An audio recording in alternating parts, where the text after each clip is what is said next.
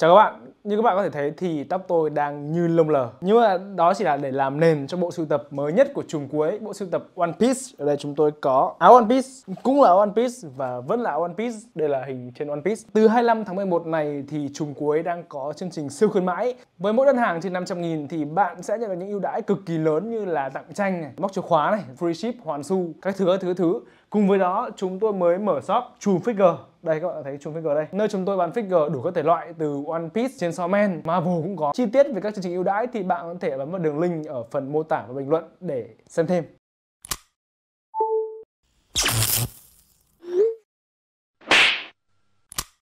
Nếu các bạn lớn lên vào thời kỳ chuyển giao giữa thế kỷ 20 và thế kỷ 21, khi mà internet và smartphone vẫn còn là của hiếm, truyền hình cáp vẫn còn là một thứ gì đó xa xỉ, Muốn xem phim thì vẫn phải mua đĩa DVD lậu, hoặc già hơn một chút thì phải dùng băng VHS. Chắc hẳn siêu anh hùng tuổi thơ của các bạn không phải là mấy ông này, hay mấy ông này, mà phải là mấy ông này, hoặc già hơn chút nữa thì là mấy ông này cơ.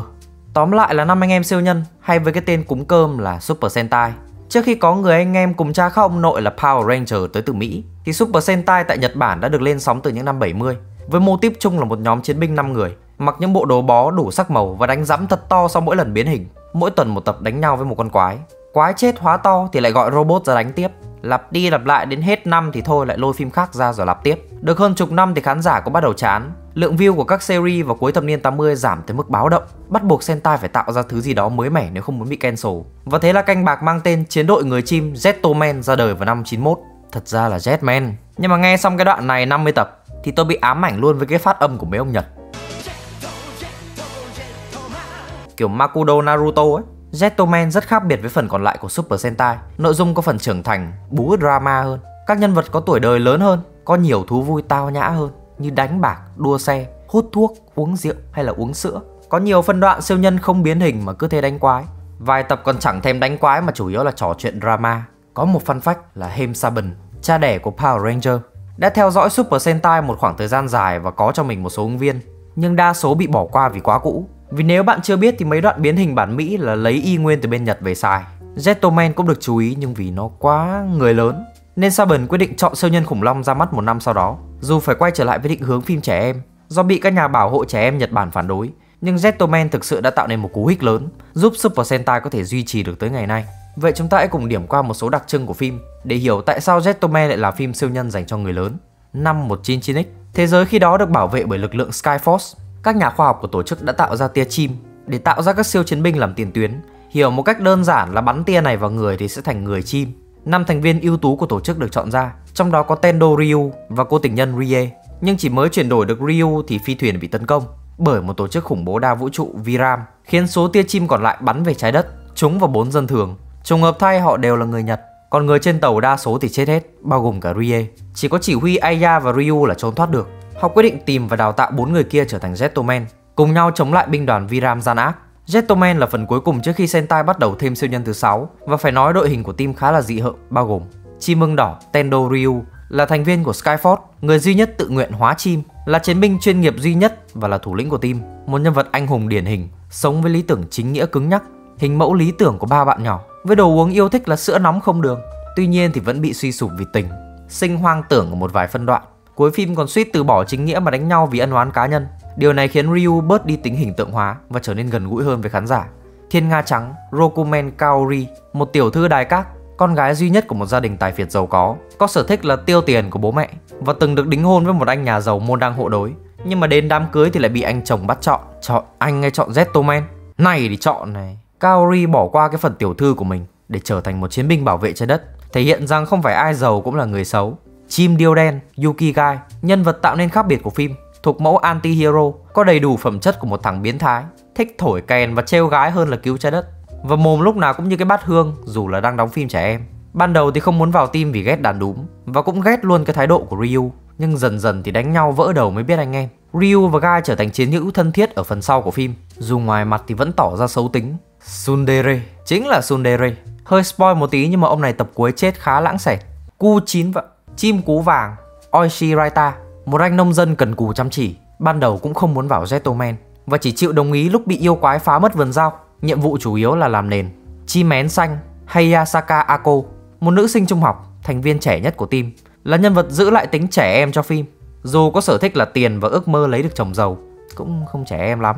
Nhiệm vụ chính cũng là làm nền. Chỉ huy Odagiri Aya, thành viên của Skyforce, giám đốc của dự án Gentleman, bá đạo chất chơi nói chung là ngầu. Điểm yếu là già và ế.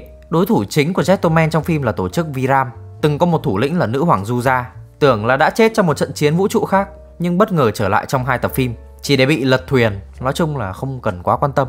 Phần lớn thời lượng phim Viram có 4 thủ lĩnh, thống nhất là ai hạ được Gentleman sẽ lên ngôi hoàng đế.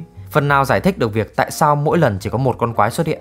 Vụ này thì mấy phim Sentai khác hay bỏ qua. Bốn thủ lĩnh Viram bao gồm Radiquest là thành viên tích cực nhất, nếu chấm công thì có thể là nhân viên của năm. Dù đâm sau lưng đồng nghiệp khá là nhiều. Có hình dạng thật là yêu quá nhưng mà hóa được có một hai lần nên là bỏ qua đi. Tên này thì tự cao tự đại, đều giả bất lương. Có một tập bị biến thành chi dân và yêu một cô gái nọ, nhưng lúc hồi phục trí nhớ thì giết luôn. Nói chung là khốn nạn nhất phim, rất thích hợp để làm trùng cuối. Trần, đầu phim là một đứa trẻ, nhưng sau một lần được Gentleman tha mạng vì là trẻ con thì bị nhục quá biến thành Trần già và mạnh vai lìn, đập hết đám còn lại và tự xưng làm vua luôn. Tôi không hiểu là nó biến hình kiểu gì, chắc là sức mạnh tình bạn, phim Nhật mà. Mặc dù cũng không có bạn lắm, sau cùng thì bị Radiquest chơi đều đến mất nhận thức rồi bị nhét vào nhà thương điên. Gray, một con robot biết uống rượu và hút xì gà, dành phần lớn thời lượng lên hình để làm màu. Về sau thì sim Maria vì Maria biết chơi đàn. Và Maria hay Aorie từng là người yêu của ưng đỏ nhưng bị Viram bắt về và tẩy não. Cuối phim thì nhớ ra mình là ai, nhưng vì tay đã nhuốm máu quá nhiều rồi nên quyết định quyên sinh tạ tội. Một trong những nhân vật tạo drama chính của phim. Ngoài ra thì Gentleman còn một số nhân vật mà bạn không cần quá nhớ đến, như là ông tướng quân không biết từ đâu chui ra này, cùng với đội Gentleman Quảng Đông của ông đấy này, với một số siêu nhân từ vũ trụ khác chui sang ấy. Nhưng mà thường chỉ xuất hiện khoảng 1 2 tập, nên là đấy, không cần phải quan tâm đâu. Một điều không thể không nhắc đến là việc các Gentleman gọi nhau bằng tên riêng giúp mối quan hệ giữa họ trở nên gần gũi hơn. Nhưng để thuận lợi hơn cho cả những người chưa xem phim, nên sau đây tôi sẽ gọi họ bằng màu cho tiện theo dõi. Điểm dễ nhận thấy nhất của Gentleman là chuyện tình ba đầu sáu tay. Khi mà đen thích trắng, vàng cũng thích trắng mà tự ti, nên là tự friendzone luôn. Nhưng mà trắng lại thích đỏ, đỏ lại nhớ người yêu cũ. Gray cũng thích người yêu cũ đỏ, nói chung là rất gì và này nọ. Drama tình cảm là trend của Nhật Bản tại thời điểm đó, nên là Gentleman rất được lòng khán giả, đặc biệt là các bà nội trợ. Cái này là fact nhá, không phải tôi bịa ra đâu. Nhiều người còn viết thư yêu cầu siêu nhân đen không chết sau tập cuối cơ Nhưng mà nhỡ cho chết rồi nên là không lẽ quay lại à Như đã nói từ trước Tổ chức Viram không có xếp tổng. Các thành viên thì thích đấu đá lẫn nhau. Số lượng quá của Gentleman thì cũng ít hơn so với các Sentai truyền thống. Đây chính là một điểm hay của phim, Khiến phim không còn dễ đoán. Nhiều khi thủ lĩnh Viram còn bắt tay với Gentleman Để chơi đều bọn đồng bọn, Khiến cho phim không chỉ còn đen và trắng đơn thuần, Khái niệm không đội trời chung trở nên mờ nhạt Và tương tác giữa hai phe chính tả trở nên đặc sắc hơn. Đặc biệt là ở phân cảnh anh đen châm cho Gray điếu xì gà cuối. Tôi xem mà tôi chỉ biết thốt lên một câu là Chất đấy. Tuy nhiên thì phim cũng không làm rõ được nguồn gốc của Viram Cũng có thể xem như một điểm trừ. Nhưng mà bản chất thì đây vẫn là phim trẻ em Nên cứ có phản diện để đánh là được rồi. Trong Zetoman thì quái vật giết dân là chuyện bình thường. Số lượng người chết trong phim thì nhiều vô kể. Mà cũng đúng, quái vật thì phải giết người chứ. Nhưng phim siêu nhân mà lại như thế thì phải nói là cục xúc. Zetoman được xây dựng có phần đời thường hơn. Việc các siêu nhân cũng chỉ là người được nhắc đi nhắc lại nhiều lần trong phim. Các nhân vật cũng có nhiều thời điểm xấu tính và bị không ít kẻ lợi dụng. Ngoài 5 tập cuối của phim, có nhiều tập khác mà tôi thấy khá đả khi đi ngược 180 độ với công thức của dòng phim Sentai. Nổi bật là tập 39 khi 4 trên 5 Zetoman bị Viram bắt giữ, chỉ có mình anh đen chạy được, nhưng cũng kịp giật mất tim của Gray, kiểu kiểu vậy. Sau đó hai ông lôi nhau ra đánh bạc, với phần thưởng chính là tính mạng của Zetoman và của chính Gray.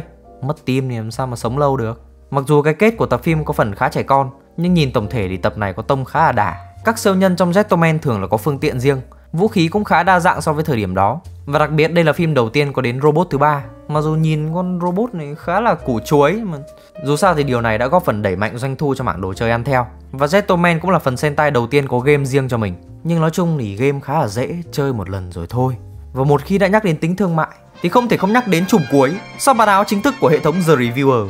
Zetoman được biết đến như phần cuối cùng của Super Sentai trước khi có thêm bản Mỹ Power Ranger. Nhưng dù là ngày xưa hay ngày nay thì Zetoman vẫn luôn được đánh giá cao trong cộng đồng fan hâm mộ siêu nhân Nhật Bản, hay gọi là Tokusatsu đi cho nó chuyên nghiệp. Tệp khán giả của Gentleman không chỉ gói gọn ở trẻ em, mà còn mở rộng ra đến cả người lớn.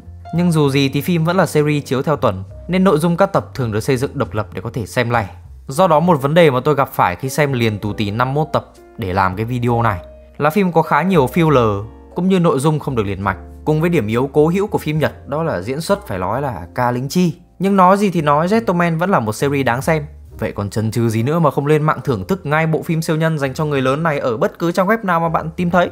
Nhưng mà đừng xem quá 180 phút một ngày thì sẽ hay hơn đấy. Và tôi quản quại, nhớ subscribe và bật chuông thông báo để không bỏ lỡ bất cứ video nào.